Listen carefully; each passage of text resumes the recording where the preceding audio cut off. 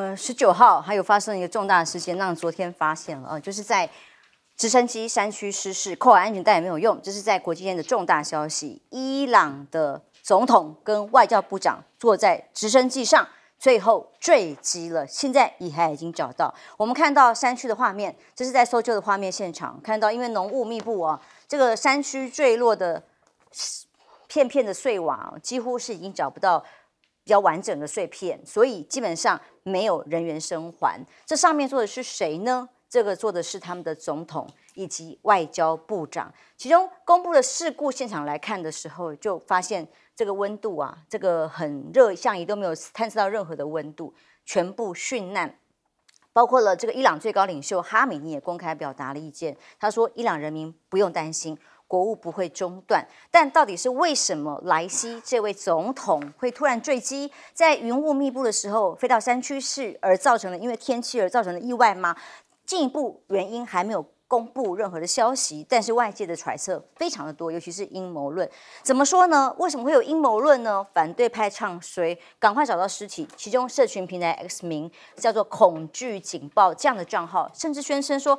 最早啊，报道直升机已经坠毁失事的消息是谁？居然是来自以色列。所以引发了暗杀阴谋论。为什么你先知道？为什么是以色列的媒体呢？还有伊朗的总统外长可能坠机，是刚好时间点发生在哪里？是在伊朗跟苏利文，就是美国跟呃沙，对不起，是美国的苏利文跟沙地阿拉伯的王储两个人见面之后，当中很大的部分就是本来沙地阿拉伯跟伊朗正要恢复正常的外交关系的时候，这个时候美国出现了各种的施压，是不是有各种正常化要做什么？不知道。那或者是伊朗国内被敌人渗透，今年一月三号有个恐怖攻击事件，首席的核子科学家还被以色列派人暗杀，这些消息是不是都跟这个时间点有关？那以至于让沙国国王王储王储啊萨尔曼啊亲王本来要访日的行程也因此延后，我们不知道是他真的病了。还是担心各种美国的压力，甚至担心坐飞机，因为听起来是真的危机重重。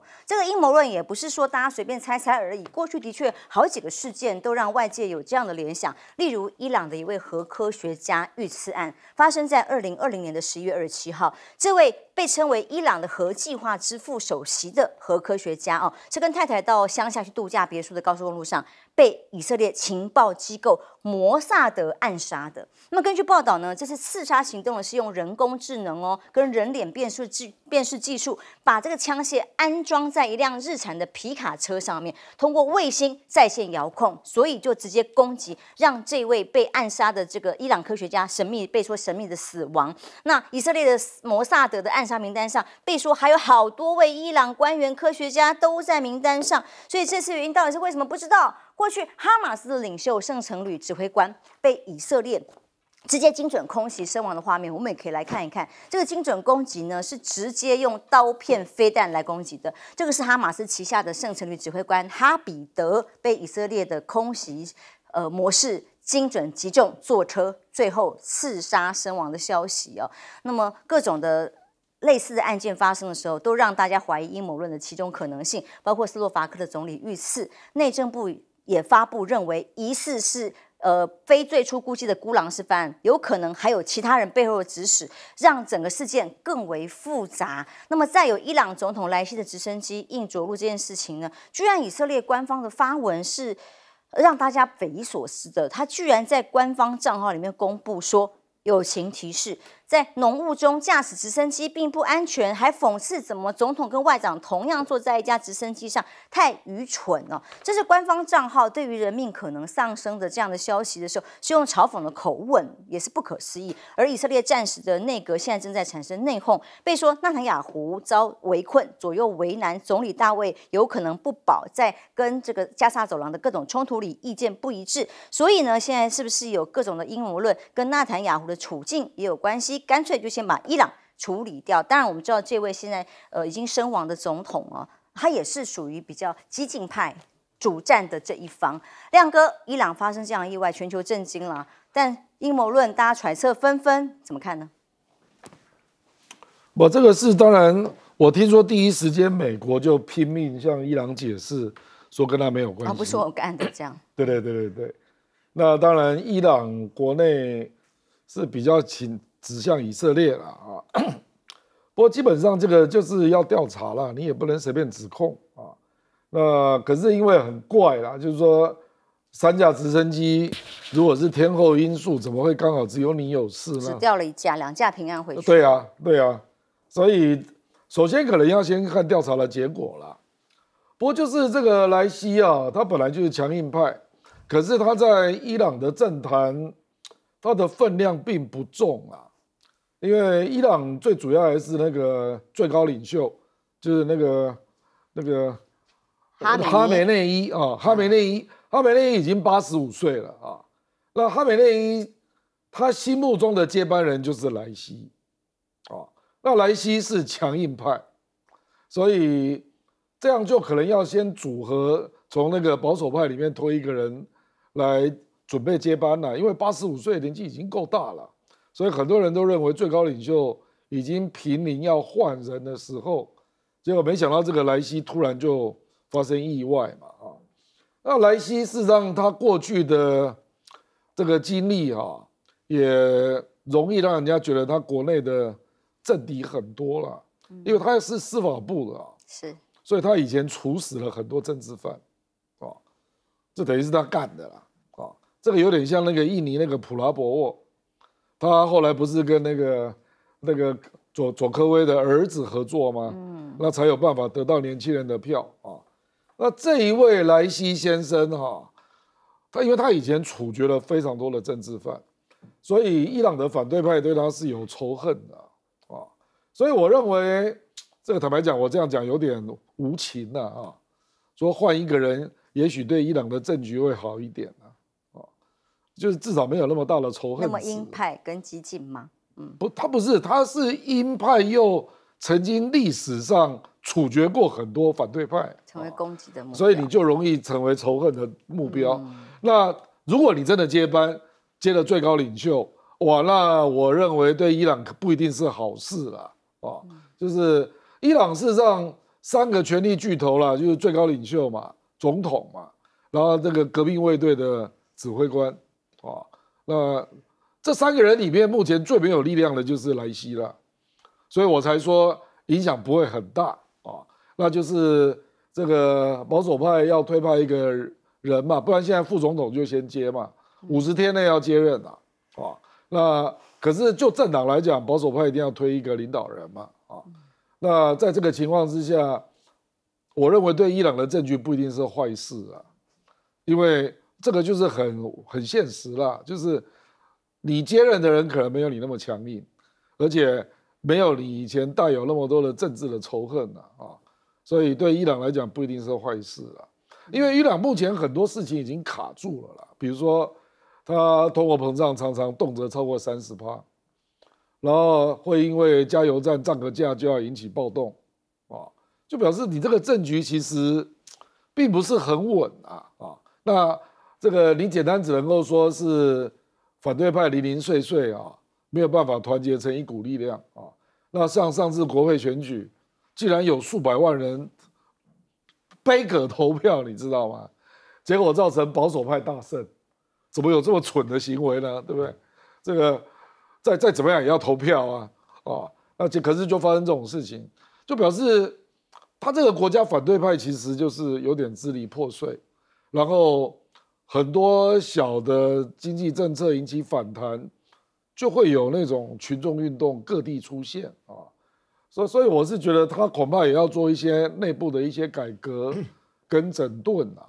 那政治有时候就是这样，你换一个人，搞不好会有新的机会。嗯嗯，所以这次坠机的影响会是什么呢？那当然，前阵子伊朗的军事行动有哈米尼在啦，所以他说，呃，所谓的国政不会中断。可是的确是比较激进的啦，包括攻击用导弹攻击以色列啦，或者是扬言要用动用核武器呀、斌哥，你怎么看现在伊朗这件事情对他们的影响？其实我必须讲，上一次伊朗攻击以色列那个做法，我觉得还挺有技巧。也就是我确实大规模攻击了，但是我又让你都拦到了，然后整个损伤也不是很大。双赢嘛？对，就是双方都有一个台阶下。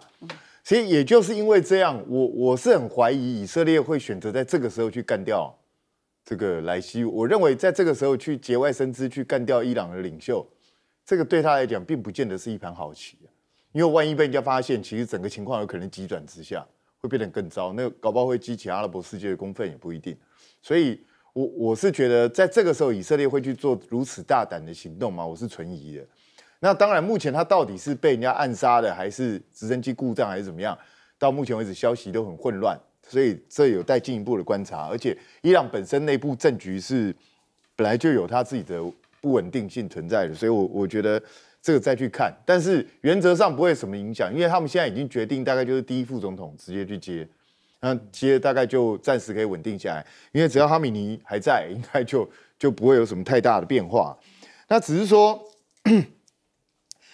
这个美国在施压以色列跟沙特阿拉伯他们之间要就关系正常化。我一直觉得在这个时间推，我是觉得很奇怪。这个时间我怎么都想不出来，沙特阿拉伯会在这个节骨眼去同意跟以色列建交，或是进行更深一步的交往。因为这个对沙特阿拉伯的立场会陷入立刻陷入非常尴尬的一个状态，所以，我我我是觉得我很怀疑美国在这个时候会给以那个沙特阿拉伯多大的压力，然后沙沙特阿拉伯会会予以接受吗？我我是想不太通这个逻辑到底是什么。不过最近真的世界上发生了很多的这种这种刺杀的状况，所以表示这种乱局越来越多，而且大家都会采取这种相对比较激进的这种行动。那这个当然不是一件好事，因为如果这种到处都呈现那种突然之间刺杀状况的话，其实这个会对很多就是各个国家潜伏的那些反对派或者不满分子会产生一种暗示性作用，也就是哎，其他国家这样解决，那我们是不是也来采取这样解决？那你要知道，全世界每一个国家几乎都会有一些不满啊，或是一些纷争存在，那会不会引导的让这些人铤而走险去做这样的事情？我我个人是还蛮忧心的。那但是，老实讲，伊朗因为他在中东其实是有举足轻重的地位。当然，如果它呈现一个乱局的话，我我觉得现对现在本来就已经错综复杂的中东情势是会更加不利。那当然，所以美国在第一时间也会赶快跟他讲说，不是我们干的，我没有哦，这跟我们无关哦。那就是希望这边不要乱，因为如果伊朗也跟着一起乱，因为伊朗是他他是两种势力在头，他有保守势力，也有比较冲动派。那些冲动派到底会做出什么事情来？说真的，也没有人知道。那最后就是以色列现在这个局面到底要怎么解决？呃，假设假设伊朗这个真的不是摩萨德干的话，那以色列现在他到底有没有办法快速解决拉法的问题？如果没有办法快速解决的话，我个人认为时间拖得越久，以色列自己内部遇到的反弹也会越大，到时候恐怕局面更加不可收拾。因为中东现在已经够乱了哦。小舰长，如果就这一架坠毁的。直升机来看，有两种，我看媒体上有两种报道，一种是说，哎呀，他是这种怎么可能总统的专机啊，可以太这么容易轻易一个浓雾就可以坠毁了？另外一种说它有点老旧，过去有一些失事或者小小瑕疵的记录过，你怎么看呢？嗯，如果按照军方的作为来讲的话，或者是政府机构的作为的话，一定是挑这种嗯机龄最最短的，也就是它服役期间最短、最新的飞机给给。元首使用啊，那至于说，嗯，相关的，嗯，这飞行员呢，一定也是挑最好的。可是，跟诚如刚刚所讲的，三架飞机、两架飞机飞出了，呃，如此的一个恶劣天气，为什么只有这架飞机出事呢？那如果说我们看一开始的那个，呃，画面的话，我们就可以看到，其实它天空中是。不知道是飘的是雪还是雨哦，那也就是说，呃，不是不是，它是有一片一片的。那那那一个呢，其实也就代表它的，呃，天气相对比较恶劣哦。而且到底是如何恶劣，然后会让它，嗯，直接的，呃，坠毁在山区哦。这个部分我不知道飞那个这个这这架直升机上面有没有类似黑盒子的呃装置，如果有的话，日后我们才可以。清楚的了解这个到底是什么状况，但是也未必啦。为什么？因为如果是呃驾驶员的问题，或者是机上人员的问题，那这个又是一个无头公案了。那最后看起来，嗯，飞机状况很正常，为什么会坠机呢？还记得吗？呃，当呃之前呃无论呃俄罗斯最大的佣兵，他的那架直升机一样也是掉下来啊，到。到现在也没有一个呃正确的答案了。那另外我们看到有关于以色列里面的政局啊，也就是甘孜跟纳坦雅胡之间呢。那如果说我们看到上面这个是最近的一份民调，纳坦雅胡他的他的民调嘞是百分之三十五，其实然后我们看甘孜的话，他也是暂时内阁的成员，他他是百分之四十五，其实这百分之十五是。下降的这个纳坦雅胡的百分之三十五是上升的。如果我们对应看今年二月的话，纳坦雅胡其实是百分之三十二，现在是百分之三十五。甘孜当初是四十八，现在是四十五啊。那其实呢，这个也就反映了其那个以色列真真正的它的一个国情啊。为什么？因为虽然啊，大家这么多人，我们看到以色列的内部也有非常多的嗯示威游行反纳坦雅胡。但是他并不是反呃战争，也不是反那个以色列的部队在加沙走廊的行为，也不是反这个以色列限制了加沙走廊的这些人道援助。他真正反对的是什么？是纳坦雅胡，你怎么还不下台呀？而且他纳坦雅胡有一个最最大的一个缺陷，也就是说他不愿意跟。呃，哈马斯达成一个人质的协议，也就是人质现在看到活的并不多，可是看到的遗体越来越多，这个是家属真正所担心的。那如果这样一直下去的话，其实我们并不，我们很难猜测以色列会会变成什么样。不过加萨走廊的，嗯，现在的一个呃危机似乎有所完瓦那个缓解。为什么？因为美国所搭的那个跳板啊。从今天开始，已经大量的运输食食物跟医疗，那个跟医药进入那个加沙走廊。嗯嗯，好，世界很乱啊，当然，尤其是现在狂人政治家当道吗？这样包括了阿根廷总统。很少看到有这样特殊的政治行为。他到西班牙去出访啊，可是出访期间他完全不见任何的官方人员，反而在跟在野党啊竞选期间的在野党的一个活动里头，直接这位米雷伊啊，直接在马德里的活动里面公开的演讲，就说暗指人家的西班牙总理桑杰斯他的妻子贪腐。西班牙的外长阿尔巴雷斯立刻非常愤怒地宣布要召回驻阿根廷的大使。他认为米雷的行为已经把西班牙跟阿根廷呢直接带到史上最糟的一个关系的这一刻。因为这米雷伊很特别，他三天到西班牙出访的行程就是说不见任何的西班牙国王啊，任何跟官方有关的人，那只。参加了这个最大的在野党，就是桑杰斯的最大对手极右翼的活动，而这个集会里头就这样攻击对方，那双方当然一段时间以来一直都是外交口水。呃，不断呢，互相就很不对盘呐。这两个人的关系，以至于在去年连大选的时候，支持米雷伊的竞选竞争对手马萨拉，让米雷伊胜选之后，也不跟他联系啊，互相可能连恭喜都没有啊。所以现在到人家的这个土地上面去攻击对方的妻子，涉及贪腐，好像就是他的一贯风格吗？当然，西班牙交通部长就表示哦，过去也曾经暗示过米雷伊服用毒品，然后互相攻击、互相伤害。那米雷伊就马上在几个小时之内。发表官方声明说，这个所谓社会主义政策只会带来贫困跟死亡，置中产阶级于险境。当然，阿根廷的通膨问题很严重，它的经济状况是全球看到很难收拾的。例如一个很小很小的例子，民生的这个议题，首都的地铁票价居然可以一个晚上。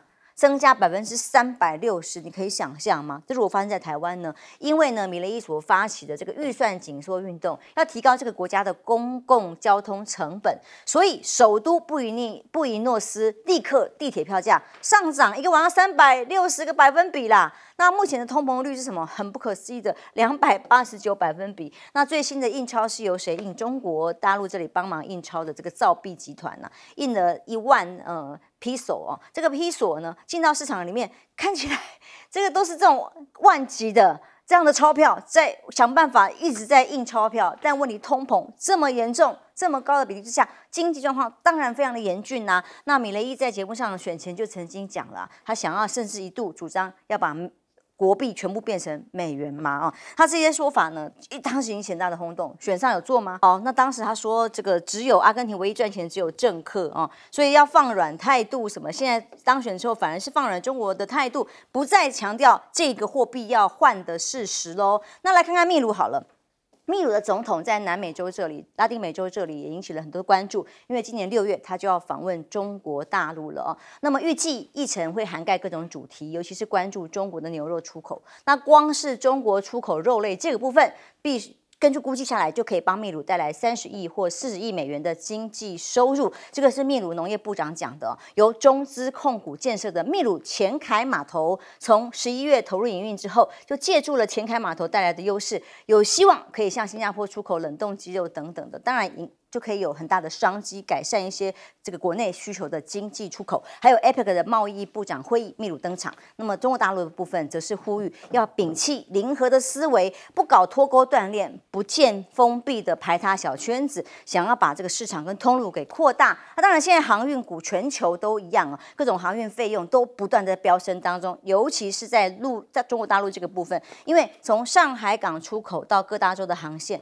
南美的航线呢，涨势最猛啊。怎么说？因为呢，跟数字比起来，跟年初比一比，已经涨了一百三十点四七个百分比。业内人士说，因为船公司都在加大对南美市场的开拓，还有啊，因为南美很多的这个蠢蠢欲动，要对电动车增加进口税，所以及早啊传出来，各种电动车业者就赶快把车运出去，运到南美等等，来规避关税。到时候进口就从南美洲进去美国等等其他地方，这都是其中很大的因素。本来全球在这个各种战争因素里头的航运的费用。就已经不断的在攀升了。亮哥来看看西班牙这个跟阿根廷两国元首很特别的这种交锋。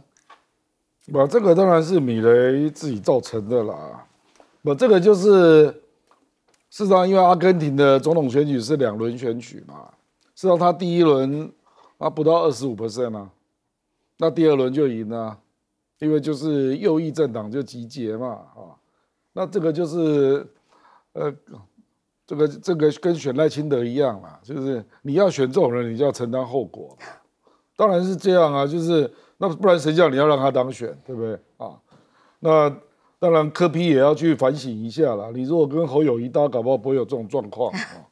我不管他就是当选了，那他就是一个完全让人家摸不透的人嘛，不知道你在干嘛啊？这个通膨一下压下去，现在又突然又飙起来了。那本来还说他不要用阿根廷的批索，要全部改美元，结果美国连理都不理他。像他这种货币谁要用啊？然后他现在又要退出金砖，然后现在发现经济不行，又想要请求金砖银行来协助，就乱成一团嘛。那个巴西鲁拉最聪明啊，巴西总统鲁拉，在他当选之后，他就说我半年内不会理他了，看他半年之后稳定了没有再说。我就是这样啊，就是他那个子弹都一直在乱飞嘛，那你要叫人家怎么应应你啊？那反而在他周边的国家，像巴西，人家就很稳定呐，对不对？那另外一个就是秘鲁啊，你刚刚提到的秘鲁，实际上秘鲁啊，不要小看那个前凯港啊，是那个前凯港如果从那个巴西拉到秘鲁的前凯港那个铁路完工啊，那以后巴西很多。在它的巴西中部的农产品要出口，它就不用绕过巴拿马运河，它可以直接从秘鲁的前海港就出口啊。那事实上那条铁路也是大陆投资的，嗯。啊，这个可能会改变整个南美洲跟中国的贸易关系哦，而且会让巴拿马运河受到蛮大的冲击哦，因为巴拿马运河跟美国比较密切嘛，是。啊，那。可能就会导致啦，就是我认为中国大陆会因为前海港的开通啊，然后铁路的开通，然后从巴西会开始进口更多的这个农产品啊，甚至还可能会波及巴拉圭哦，哦，所以是这个台湾就要小心了啦啊，因为巴拉圭理论上也是可以种大豆的啊，因为中国大陆正它不断的在降低跟美国采购大豆嘛。那目前它跟美国采购大豆的比例已经低于巴西了，啊，那未来大家也知道嘛，因为中国大陆也要到西伯利亚去开发农场，那可能也会种大豆，啊，所以未来美国的大豆农我真的不知道他怎么办啊，他的大豆不知道卖给谁啊，啊，因为光是中国大陆大概就已经减少了一千吨、一千万吨的大豆的收购啊，所以。这这个实上是有影响的啦，不只是秘鲁自己的农产品可以出口，而且还会包括巴西等那个南美洲的这个东部那些国家可以从这边出口。嗯，的确，通路为王，谁拥有的通路运费可以是节省，当然就可以更促进经济的繁荣出口喽。休息一下，马上回来。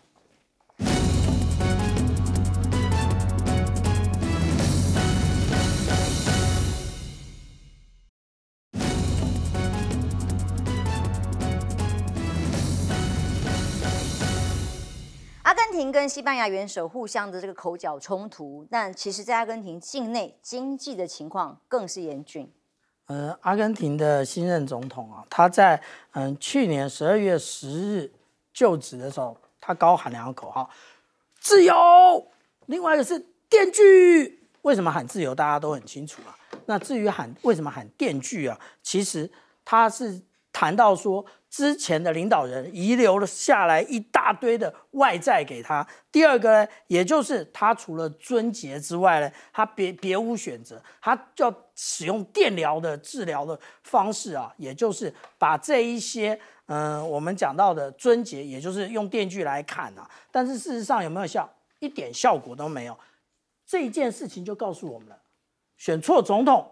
下场就是这样，意思是什么？我们刚刚讲说啊，他一一夜之间呢，他的那个地铁啊，其实呃呃票价涨了百分之三百六十啊，但是这不是第一次啊，他在去年去年的，也就是我们刚刚讲到他上任后的四天，他的车票公车票从五十批手涨到五百批手，怎么样？这样子也是很震撼的嘛。另外啊。我们来看啊，它的一个嗯币值到底贬成什么样子？我们就看啊，这个就是他就职的时那个就职的时间开始，我们就看到 Piso 一路的下，一路的狂贬啊。但狂贬的数量是多少？它原来对美元呢是七百三十五，那在这个位置点是七百三十五元。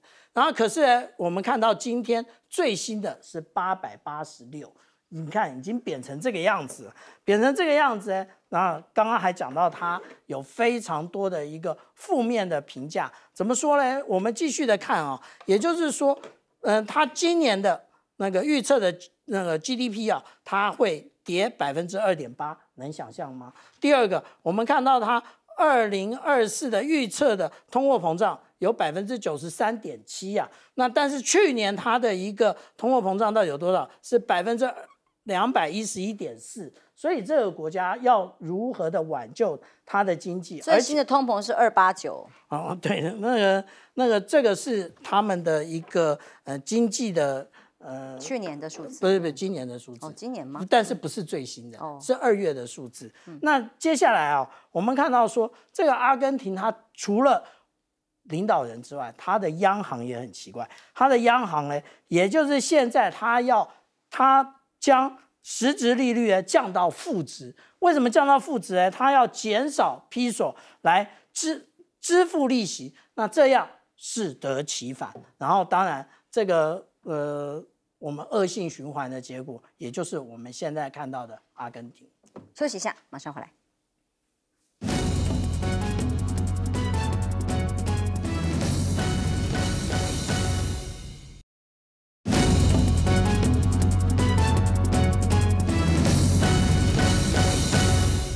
我们看到西班牙跟阿根廷像这样的冲突里头呢，所展现所谓就是国与国之间呃情绪性的冲突了。但是国与国的区域平衡更重要。你看贸易大战，不是？我觉得这个米雷伊哦，他真的有点毛病。也就是他他提出了一大堆那种基本上就是不太可能实现的东西，然后他现在在做不断的修正。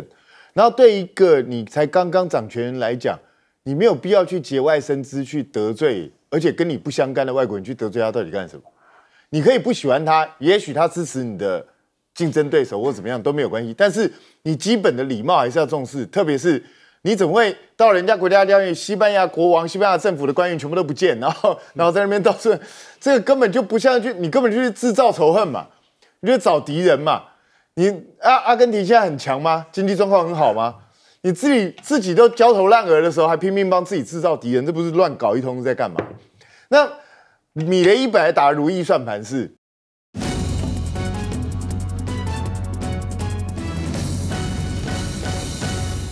各位朋友，欢迎收看 TBS 新闻大白话，我是王浅秋。首先介绍这一节跟我们讨论最新国际国内议题的来宾，第一位是耶鲁政治学博士郭正亮亮哥，大家平安。资深媒体人谢寒冰，主持人好，大家好。前海军舰长小舰长吕李师。主持人好，各位观众大家好。今天是五二零就职典礼，新的团队、新的国政成立了。而在凯道上面，五二零这一天，我们看到了有哎巴勒斯坦的旗子，美国的国旗飘扬。独派们还在喊“小草们醒醒吧”，要喊年轻人回来，民进党吗？那甚至说指控蓝白阵营出卖台湾吗？那相对的，也有民众怒呛台独孬孙，就在警服门前，这里设了一个陈抗区，这个区域就让一些民众有不同意见的人可以在这里表达嘛。哦，典礼一开始就陆陆续有民众进出进出啦。哦，当然各种的呛虾都有。那但是这个典礼进行是被说是从上一次蔡总统第一任。当选的时候的规格有雷虎小组啦、喷彩烟呐，各种很规格很高的画面。我今天早上在路上也看到了我们的国旗、直升机啊、机队编组。在飞在半空中，但是呢，这个当中所展现的就是要以实际行动展现战训成效，这是国防部它的对外的新闻稿。而可谓二十年之后，雷虎小组再度的为总统就职来冲场哦，这样盛大的场面带来的是怎么样的赖清德的新时代呢？赖清德总统现在已经当选了第十六任总统，正式上任之后，他说民主和平。繁荣是国家路线，呼吁全民团结，为国家的生存发展，他会透过民主的力量，团结所有国人，壮大国家。另外，同时来看到的是柯文哲在五一九游行会场前啊，就是在就职之前，带的是民众党有八千人在现场，据说现场线上好像有六万人哦。那相对于在立法院包围的有多少人？四百位吗？甚至有人说一两百人，不知道。像这些青年在包围立法院，怒呛黄国昌站出来面对的时候啊，北市特勤还带了这个甩棍啊、束带啊来备战。所以，当在野党要合法申请游行，如果侵略执政党侧翼来闹事啊，你看看，在清基本还没出现在民众党的五一九草根行动，哎，还有这个四叉猫，哎，哦，结果被发现，这个是由徐福他们所公布的，就发现他们居然登记在记者的名单里进场的。那么，当记的这个名字，比方说四叉猫。跟鸡排妹呢，像郑家纯呢，他们也不敢自己去拿这个证，所以还要由别人带领哦。搞了半天到现场去，还要在直播啊做访问，以记者的知知名都新角色啦，就是用骗的啦，骗到人家现场去，要闹场吗？那再来看看馆长喽，他怎么看今天五二零就职赖总统的谈话？我是一个坚定的台独分子，不是台独龟孙呢，现在在掉虾的那个。守护台湾主权是我们的 DNA，而不是你民进党跟民进党支持者拿来做一个意识形态的对立。支持我民众民民进党，你就是台湾人；不支持我民进党，你就是中共代理人。哦，原来是只有鸡排妹拿了这个记者证进到这个现场。馆长也是昨天在会场上的谈话。但无论如何，中国大陆对于赖清德的最新总统他的谈话回答是有什么说法呢？刚国台办跟中国大陆的外交部都已经发了声明，而共机共建在台海周边的活动持续的在各种的演练密集的进出当中。国防部的新闻稿告诉大家，到上午六点为止，一共侦获六架次的攻击，逾越了海峡中线啊啊，舰次部分有七艘持续在台海。周边的活动，那么所以传出来总统就职第一天呢，空军直接召回所有的飞官来待命吗？国防部就赶快澄清说，哦，没有，我们只是维持常态的运作，没有提升战备啦，那都是正常的监侦活动，没有特别啊，全部召回或特别的紧张。所以今天很多媒体要访问新团队新阁员就任之后，包括了问顾立雄。他怎么看国防部长即将上任？看两岸的关系跟评估，他说：“嗯，不应该由我来说。两岸危险会增加吗？”他说：“我想赖赖总统的演说会依循中华民国宪政体制。亮哥依循了中华民国宪政体制吗？他按着中华民国的宪法来就任为总统了。但谈到的两岸关系，却现在看起来是更危险、风险更高了吗？”把赖清德的论述。就是把我们所认知的赖清德的想法全部都直接摊出来了啦啊！这真的就是我们说他的想法都写都写在脸上这样啊，毫无保留了啊！这个这个就直接讲中华民国、中华人民共和国互不隶属啊。那台湾、中华民国、台湾、中华民国都是国民，这个显然就是两国论的啦。而且就是他真的就是这样想嘛？那他大概就觉得说，反正我不想掩饰了，我就讲出来哈。那这个有两个方面值得注意啦，就是中国大陆是外交部先回应哦，是汪文斌的东西先出来，然后接下来国台办的陈冰华才出来啊。那通常是这样啦，就是二零一六年蔡英文的就职演说哈，大陆大概隔了五个小时才做出回应。那我们事后有了解，是国台办有部分人认为可以过关，哦，啊，可是到了上面的国安系统是反对啊，那后来不是未答完的考卷吗？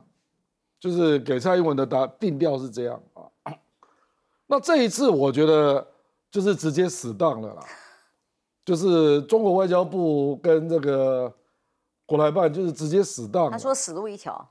我我就是说直接死当了，就是没有争议，就绝对是死当了啦哈。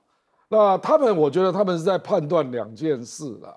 第一个就是是不是美国策动的，嗯，是不是有美国合谋这个因素了？那我认为他们判断是。C N 的报道就已经告诉大家了，所以说是嘛？是。那是就就是外交部先回应，然后接下来就是陈冰华的回应哦。那接下来就是反制的措施是什么？哦，这个还没有讲啊，还没有讲啊，可是一定会有，哦，所以大家安全带要绑好啊。而且我认为，如果这个事情背后是有美国，就是就是合谋了，就允许这样的论调了啊，那我认为就会一路玩到十一月，就是台湾牌。他就一直一路打下去了啦，或者他的选情，呃，我觉得也包括外交上的斗争呐，因为普京刚访问完北京，那个普京刚访问完北京嘛，啊，那美国对中俄联手也是非常火大啊，那我觉得就有一点就是互相杠起来了啊，那他就大概，我认为以美国这种国家啊，赖清德的。演说稿一定有 A、B 版呐，那大概就是放手说，你就讲你的 A 版这样，就说你要讲什么你就讲吧，啊，我也无所谓了啊，因为我我在想，罗森伯格在一月十三号之后，他来过两次嘛，对不对？所以我觉得不太可能不了解赖清德要讲的内容要讲的是什么？对对，那可是应该这种事情会比较仔细的运作了。就是说，依我以前，因为我曾经参与过阿扁的部分啊，都是有一个最后的定稿人，那由各部门就是会诊，可能写什么样子，写什么样子，然后最后做会诊，那一定有呃比较硬的调子，比较软的调子，然后做最后做一个组合这样啊。那我觉得美国大概最后就是说，你就 你就讲你要要讲的吧啊。那所以出来飞了吗，呃，出来就我我觉得他本来就是这个立场啊，他也没有唯心之论啊。说实在，他本来就是这种立场啊。那可是坦白说了，两岸互动是这样啊，就是你要打什么牌，你就会有什么牌来回应嘛。所以你今天看到台股就非常典型嘛啊，就台股今天市场开盘是涨的啊，也涨不多了，涨不到一百点。对，跟日本、韩国不一样。前两天比起来，哦，可是我今天雅股、日韩都是大涨。对，啊，那可是到了中盘，它就掉下来了。尤其听到观光股，一听到这一提一那个瞬间就掉了一百点。那个是在两岸两岸互不隶属那一段跑，那个跑掉急跌了啊啊！然后呢，然后你就看到撑盘嘛，撑盘到最后是涨了一点点这样啊。那像雄狮啊。雄狮就跌了三个 percent，啊，我觉得他前面，我觉得你如果要做国家的定位的论调，那是你的立场，这个我没有意见。可是你还把，就是你要怎样怎样怎样，我们才能够怎样怎样怎样啊，弄得一副好像，呃，大陆对你的善意的，你就是一定要先在政治上有这样的认知啊，那后续的。政府之间的那个民间交流才可以进行呐啊。我讲的政府，就是说必须要有政府政策支撑的民间交流啊。所以为什么旅游股会非常失望嘛？因为他们大概认定就是没了嘛啊。那可是可能还不止这样啊，因为你也知道嘛，那个贸易制裁、贸易壁垒调查，那只公布了第一波，完了是只公布了第一波嘛啊，那后续还有啦，一大堆啦啊，就是我认为只要有政府需要出面定调的两岸的政策，可能都会出问题啊。那那这个是他自己的选择啊，事实上他不一定要玩那么大啦，可是你要这样玩，那也没办法。斌哥的确，虽然在谈话里头讲的是说我们要要求两岸可以开始对话呀，我们可以友善的对话，但就是有一些前提条件，这些前前前提当然就涉及了最敏感的部分，所以他即使后面喊说我们要观光重复可以开放了哦，或者是说我们学生最好可以先来交流，问题这个前提就很难同时存在。基本上不可能的、我觉得，因为赖清德这次很明显的比蔡英文又更往前走了一大步，所以在这种情况下，我觉我不认为老共会容忍这种情况出现，所以接下来两岸之间至少在未来这几年大概是不会有任何交流，我我认为就是这样。然后大概大陆那边会加强对台湾之间的一些措施，那包括观光啊，甚至这种农产农渔产品啊，或是其他的这些东西，我看都会开始紧缩。所以我，我认为大概就是这样子。因为赖清德讲了大陆最不能容忍的东西，实际上也是完全不符合我们宪法的东西。这个顾立雄，亏你还是学法律耶，你还说什么一切符合我们中华民国宪法？请问一下，哪中华民国宪法哪里有说中华民国跟中华人民共和国互相不不隶属？什么时候有讲过这个东西？然后台湾是国民，到底是宪法里头哪里规定的？赖清德已经完全超越我们的宪法，他在走他自己的路啊，这是非常明确的、那我也认同这是美国人允许的，因为你看美国国务院也直直接称呼他台湾总统，对啊，所以就很明很明确了嘛，美国就是说赖清德你就这样干，那赖清德就很高兴就这样干，那但是问题是赖清德这样干之后，接下来会出现什么样的状况？我想不会有人天真的以为老共会继续想要去跟赖清德谈，测他的底线，然后双方慢慢协商，不会有这种事情出现，绝对不会。两岸之间就是一定会进入比蔡英文时代更加恶劣的状况。蔡文时代我们几乎已经没有什么交流，河期现在对是现在啊，现在是风冻期，整个就是冻结，冻结还算好的哦。我会跟大家讲，冻结还算，冻结只是大家不往来哦。接下来恐怕比冻结还要惨哦。你你今天看大陆的飞机跟军舰来的其实不算多，我我认为大陆未未来接下来的采取的动作恐怕不只是演习这么简单了，不是吓吓你而已。我觉得他会采取实质的东西，会实质让台湾有感的动作，包括经济的层面，包括其他政治方面的层面。那这个就是我们必须要去接招的东西。这个也没什么好抱怨的，因为我们自己的选举制度，我们自己选出来的这样的一个总统。那当初选出来的时候，大家都知道一定会有这个后果，这百分之百会有的。那现在就是应验了嘛？那应验了，大家要怎么去面对？未来两岸之间旅游什么全部都不可能的啦。我我认为两岸像我们现在对中国大陆的依存度相对低，对不对？我跟你讲，未来会更低。我认为两岸之间的经济活动未来会减少非常多最。新是二十八点五，对啊，因为最高的时候，蔡英文的时候到四十三嘛，那现在到二十八点五，我看未来可能会到十五以下，我是觉得非常有可能。那就是是大家被迫不依存了。嗯大大家就是要怎么样去面对我们的产业如何转型，怎么样让厂商继续生存下去，然后这样的冲击我们人民怎么接受，这都是政府必须要去考量。你不能只是一时寒爽，寒爽完之后你要去面对这个事实啊。所以这就是接下来才是赖清德真正考验的开始。嗯，大家绑好安全带吗？亮哥说，小舰长，当我们看到最近的军机啦或者军舰啊到台海、海空海空域当中，观察到的现象是什么？接下来又有怎么样的预判呢？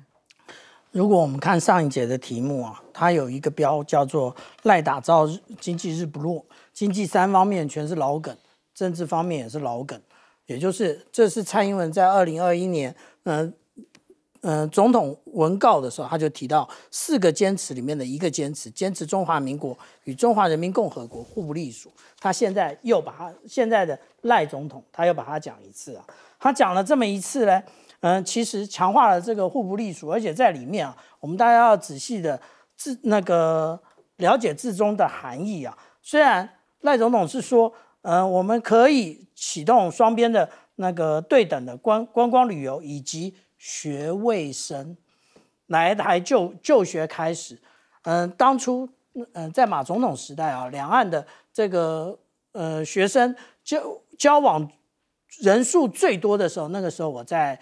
嗯，世新大学念呃呃新闻硕士啊，那个时候一个班上面的二十几个学生啊，那如果说都是教那个，如果以陆生来讲，二十个学生里面可能只有一个学位生，其他十九个全部通通都是交换生。他现在把它框限到学位生了，而且交换生真的愿意来吗？以现在嗯。大陆跟台湾的这种关系，我相信他们的家长也不放心啊。那至于说，嗯，大家很喜欢啊，看这个海空的那个动呃空域活动的这个示意图来比较。那其实我们如果比较这两个，我们会其实会有一个呃很惊讶的部分，也就是五月二十号今天早上公布的，其实只有六架次啊，六架次那个通过海峡中线。可是我们看五月十五号，它有四十五架次，哎，五月十五号发生什么事？我看了半天，没有什么事发生。唯一的事情就是国台办惩戒五个名嘴，难道他们是来庆祝的吗？庆祝惩戒那五个名嘴，惩戒二一零将军，惩戒那个他每天都胡说八道，还说那个福建舰上面有裂痕呢。所以解放军的演习啊，其实我们很难预料。为什么？我们来看二零二一年的他们在南海的军演，这个南海的操演的范围里面，到底有多少艘船？这里面包含了山东号打击群，那它这里面一共有三十艘船，有曾经报道过吗？并没有，也就是解放军在南海这样的演演演练，我们并不知道。我们。但是现在有很多的媒体，甚至所谓的专家学者，都拿这些图来作为一种研判，但是其实不能研判，我们最多只能看它的一个趋势，或者是日后得到了什么样的讯息的时候，我们可以来做一个分析。例如说，我们看到说，在一百一呃，就是一一九一二一年啊，我们可以看到一月四号，解放军的那个各型的。呃，无论是呃 呃运八运运八反检机，或者是计侦机，或者是通信对抗机，所有的都在西南防空识别区。我们知道在做什么吗？我们不知道。后来终于终于，南华早报告诉我们了，其实是有一个非常危险的事件，也就是解放军跟美军在南海。下面进行争斗，这个是后来才知道的。可是我们当天看这个图，其实看看不出来发生了什么事。所以其实就像刚刚郑亮老师所讲的，现在请大家扣好安全带，那个准备坐云霄飞车。